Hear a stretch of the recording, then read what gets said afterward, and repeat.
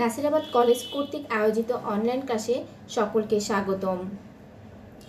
শিক্ষার্থীরা, তোমরা যে যেখানে আছো, আশা করি ভালো আছো, সুস্থ আছো। আমি সোহান লালা প্রভাষক সমাজকর্ম বিভাগ, নাসিরাবাদ কলেজ, ময়মনসিংহ। অনার্স দ্বিতীয় বর্ষের শিক্ষার্থীরা, আজ আমি তোমাদের নিবিজ্ঞান পরিচিতি আলোচনা করব। আমরা নিবিজ্ঞান পরিচিতি দ্বিতীয় অধ্যায়, নৃতাত্ত্বিক প্রেক্ষিত ও পদ্ধতি বিষয়ে আজ আলোকপাত করব।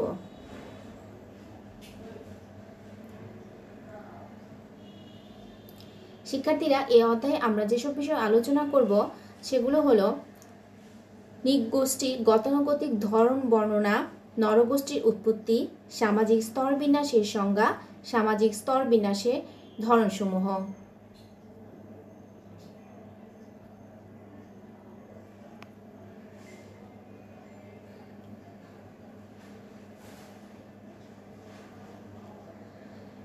নিগোষ্ঠীর গতানুগতিক ধরন বর্ণনা। তো আমরা জানি যে নিগোষ্ঠী হলো স্থানীয় পরিসীমায় বসবাসকারী এমন একদল লোক বা মানুষ যাদের মধ্যে সাধারণত দৈহিক বৈশিষ্ট্য বিদ্যমান এবং যারা অন্যদের তুলনায় দৈহিকভাবে সম্পূর্ণ ভিন্ন হয়ে থাকে। সামাজিক, অর্থনৈতিক, সাংস্কৃতিক, ভৌগোলিক প্রভৃতি নানা কারণে নিগোষ্ঠীরা বিভিন্ন বৈশিষ্ট্যের অধিকারী হয়ে থাকে। সময়ের প্রয়োজন ও চাহিদায় নিগোষ্ঠীতে গতানুগতিক ধরন তৈরি হয়ে থাকে। নিগোষ্ঠীর গতানুগতিক ধরনগুলোর মধ্যে কিছু উল্লেখযোগ্য ধরন হলো এক নাম্বার, কোকেশীয় বা শ্বেতকার। কোকেশীয় ধরনের উন্মোচন করে নিবিজ্ঞানী ব্রেমেন বাগ তিনি ছিলেন একজন বিখ্যাত খুলি বিশেষজ্ঞ। তার সংগ্রহিত খুলির মধ্যে জর্জিয়ার এমন একজন স্ত্রীলোকের খুলি পেয়েছিলেন যা মঙ্গোলীয় ও নিগ্রোদের মাঝামাঝি আকারে ছিল। এটিকে তিনি কোকেশীয় খুলি বলে নামকরণ করেন। কোকেশীয়দের মাথার আকৃতি লম্বা, খব্বাকার, নাক চিকন, সরু, চোখ কালো, বাদামি, ঠোঁট পাতলা, চুলের রং, বাদামি রং এর হয়ে থাকে। তবে এদের কারও কারও দৈহিক আকার দীর্ঘ ও মাঝারি হয়ে থাকে। এসব নৃগোষ্ঠীদের সাধারণত ইউরোপ, আমেরিকা, উত্তর আফ্রিকা, মধ্য প্রাচ্য ও দক্ষিণ এশিয়ায় দেখতে পাওয়া যায়। মঙ্গোলীয়। মঙ্গোলীয় নৃগোষ্ঠীদের দেহের রং বাদামি থেকে পিতবর্ণ হয়ে থাকে। এদের গায়ে চুল কম থাকলেও চুল কালো ও খাড়া হয়ে থাকে। এদের গায়ের হাড় বাইরে থেকে বেঁকে থাকে এবং অক্ষপিটে এপিটাক ভাস থাকে।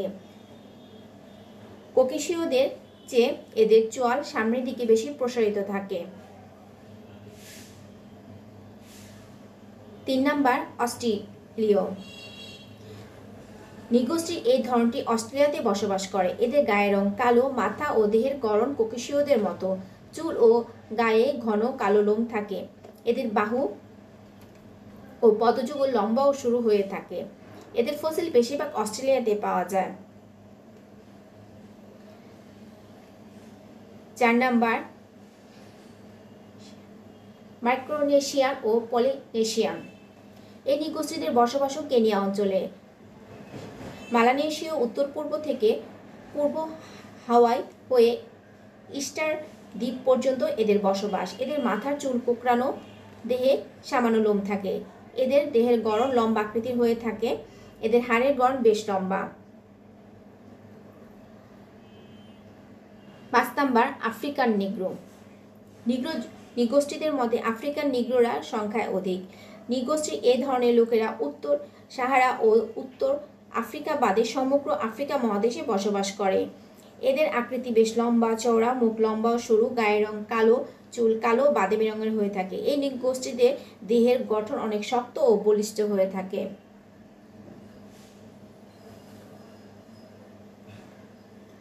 ছয় নাম্বার, মধ্য আফ্রিকান পিগমি। মধ্য আফ্রিকান পিগমি নিগোষ্ঠী নীলনদ থেকে উত্থিত হয়েছে। এদের নীলনদ থেকে দক্ষিণ কঙ্গো পর্যন্ত বিস্তৃত এলাকা জুড়ে বসবাস। পিগমি নিগোষ্ঠী খাটো আকৃতি হয়ে থাকে। এদের গড় উচ্চতা পাঁচ ফুট আফ্রিকান নিগ্রোদের থেকে এরা খাটো এবং গায়ের রং অপেক্ষাকৃত হালকা ও গায়ে ঘন লোম থাকে। এই নিগোষ্ঠী পিগমি নিগোষ্ঠীদের মধ্যে সবচেয়ে বেটে।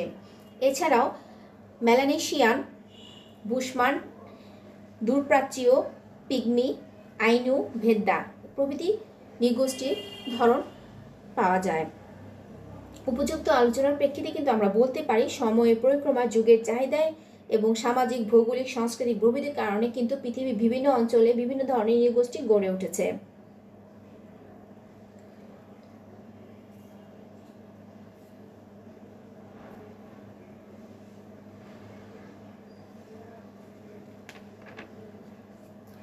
নরগোষ্ঠীর উৎপত্তি। তো এবার আসো আমরা নরগোষ্ঠীর উৎপত্তি সম্পর্কে আলোচনা করি। নরগোষ্ঠী উৎপত্তি কীভাবে হয়েছে, এর কারণ কিন্তু সঠিকভাবে বলা অনেক কঠিন। তবে নৃতত্ত্ববিদ, প্রত্নতত্ত্ববিদ ও প্রাণীবিজ্ঞানীদের অনেকে মনে করেন যে নরগোষ্ঠী উৎপত্তি হয়েছে ভিন্ন ভিন্ন পূর্বপুরুষদের থেকে এবং কেউ কেউ মনে করেন তাদের উৎপত্তি হয়েছে একই পূর্বপুরুষ থেকে। নৃগোষ্ঠী উৎপত্তি সংক্রান্ত দুটি তথ্য সাধারণত প্রয়োজন মিলে।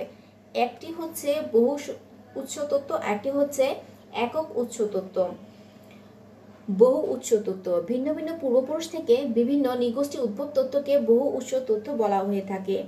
এই তথ্য অনুযায়ী সাধারণত নিগোষ্ঠীগুলো পরস্পর অনাত্মীয় ও সম্পর্ক যুক্ত হয়ে থাকে। এই তথ্যের মধ্যে রয়েছে লিজেন্ডার খাল থেকে ক্রোমাভ্যান ও তা থেকে কোকেশীয়, পিঙ্কি মানব থেকে মঙ্গলয়েড, রোডেশীয় মানব থেকে নিগ্রো, জাভা মানব থেকে অস্ট্রেলিয়ান নিগোষ্ঠীর উৎপত্তি। দুই নম্বরে আছে একক উৎস তথ্য একক উৎস তথ্য অনুযায়ী সব নিগোষ্ঠী একই উৎস বা একই পূর্বপুরুষ থেকে উদ্ভব হয়েছে। এজন্য প্রধানত চারটি উৎস কাজ করে। একটি হচ্ছে ভৌগোলীয় উপাদানের প্রভাব। আরেকটি হচ্ছে সামাজিক ও প্রাকৃতিক ভিন্নতার প্রভাব। তিন নম্বরে আছে আর্থসামাজিক উপাদানের প্রভাব এবং চার নম্বরে আছে মিউটেশিয়ানগত প্রভাব।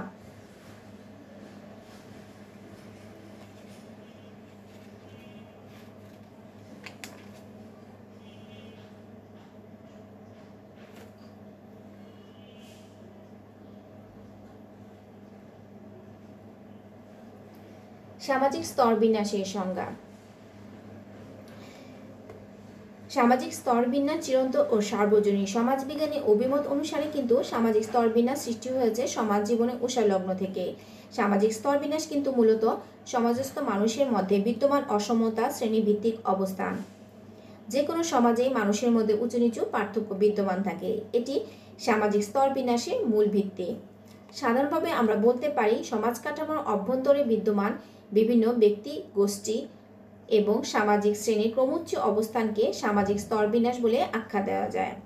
সমাজে প্রত্যেক ব্যক্তি ও দলই অপেক্ষিত আপেক্ষিক অর্থে উঁচু নিচু বা উৎকৃষ্ট মর্যাদার অধিকারী বলে বিবেচিত হয়। তাই সামাজিক স্তরবিন্যাস বলতে সমাজে ব্যক্তি, গোষ্ঠী, শ্রেণি, অসম অবস্থান বা অসম মর্যাদার বিন্যাসকে বোঝানো হয়ে থাকে। বিভিন্ন সমাজবিজ্ঞানী কিন্তু বিভিন্নভাবে এই সামাজিক স্তরবিন্যাসের সংজ্ঞা প্রদান করেছেন। সমাজবিজ্ঞানী বোটমোরের মতে, সামাজিক স্তরবিন্যাস বলতে ক্ষমতা, মর্যাদার ভিত্তিতে বিভক্ত কতগুলো শ্রেণি বা স্তরে অবস্থানকে বোঝায়। সমাজবিজ্ঞানী ম্যাক্সওয়েবারের মতে, সামাজিক স্তরবিন্যাস হচ্ছে সামাজিক মানুষের বিভাজন। এর ভিত্তি হচ্ছে সম্পত্তি, ক্ষমতা ও মর্যাদা। ল্যান্ডমার্ক আবার তার সোশ্যোলজি নামক শীর্ষক গ্রন্থে বলেছেন, সামাজিক স্তরবিন্যাস হচ্ছে সামাজিক পদমর্যাদা দিক থেকে সমাজস্থ মানুষের একে অন্যজন থেকে উচ্চ, সমান ও নিচু ইত্যাদি স্তরে ভাগ করা।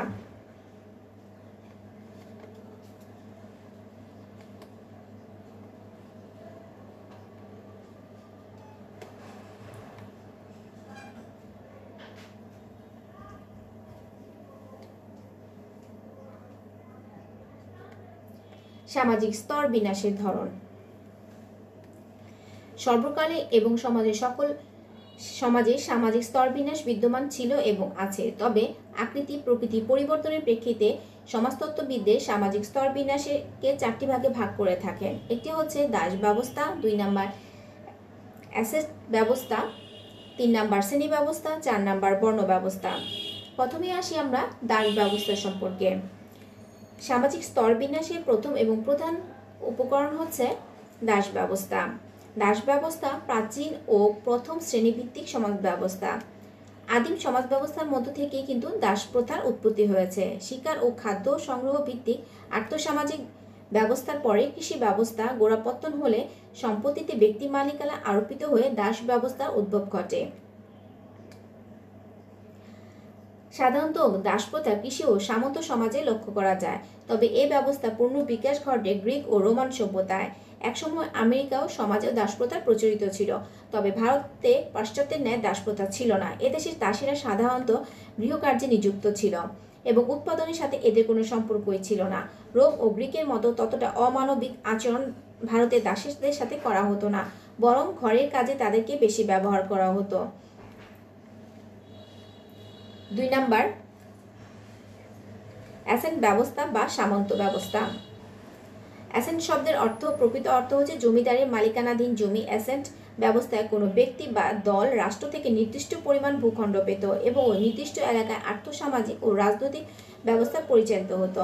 প্রাপ্ত ভূমিকে কেন্দ্র করে এবং যিনি বা যারা ভূমি পেতেন তাদের মধ্যে সমাজ পরিচালিত হতো। এই ব্যবস্থা সাধারণত তিনটি শ্রেণি দেখা যায়। একটি হচ্ছে যাজক শ্রেণি, দুইটি দুই নম্বরে হচ্ছে অভিজাত শ্রেণি, তিন নাম্বার হচ্ছে সাধারণ শ্রেণি। তিন নম্বরে আছে শ্রেণি ব্যবস্থা। শ্রেণি ব্যবস্থা বলতে একই আয় ব্যয় এবং একই ধরনের সুযোগ সুবিধা ভোগকারী গোষ্ঠীকে বোঝায় থাকে বোঝানো হয়ে থাকে। শ্রেণি আপেক্ষিক অর্থে মুক্ত। শ্রেণি ব্যবস্থায় কিন্তু সামাজিক স্তরবিন্যাস সৃষ্টি হয়ে থাকে। এটিকে দুই ভাগে ভাগ করা যায়। একটি হচ্ছে সচেতন শ্রেণি একটি হচ্ছে অসচেতন শ্রেণি। সচেতন শ্রেণি এরা সাধারণত শোষণ, বঞ্চনা, অধিকার নিয়ে সচেতন। মার্ক্সের মতে কিন্তু এরাই প্রকৃত শ্রেণি আর অসচেতন শ্রেণি। প্রচলিত নিয়মে এরা জীবনকে ছেড়ে দিয়ে এ কাজ করে। এতে দ্বারা সামাজিক পরিবর্তন কখনোই সম্ভব নয়।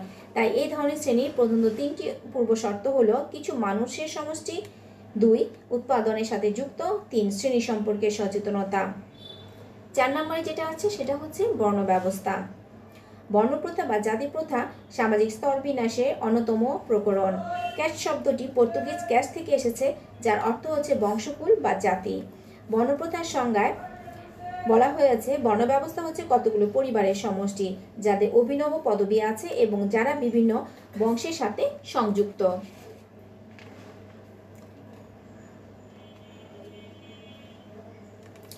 এভাবে এই চারটি শ্রেণি এক এক দিক থেকে সামাজিক শ্রেণি বিভাজন নিশ্চিত করেছে।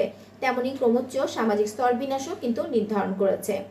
এ প্রেক্ষিতে আমরা কিন্তু বলতে পারি, সামাজিক স্তর বিন্যাস পূর্ণাঙ্গ একটি, সমাজে একটি পূর্ণাঙ্গ রূপ। আদিম সমাজ থেকে শুরু করে অবধি যত সামাজিক সমাজ মানব সমাজ আমাদের দৃষ্টিতে এসেছে, তাদের প্রত্যেকটিতে কোনো না কোনোভাবে এই স্তর বিন্যাস রয়েছে।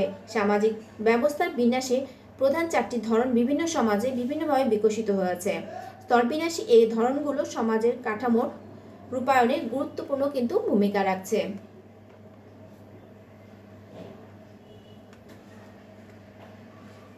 শিক্ষার্থীরা এতক্ষণ ধরে ধৈর্য সহকারে তোমরা আমার ক্লাসে ছিলে, সেজন্য তোমাদেরকে অসংখ্য ধন্যবাদ। আমি এর পরবর্তী ক্লাসে এর পরবর্তী অধ্যায় নিয়ে আসব। আর সেই পর্যন্ত তোমরা ভালো থাকবে সুস্থ থাকবে। আল্লাহ হাফেজ।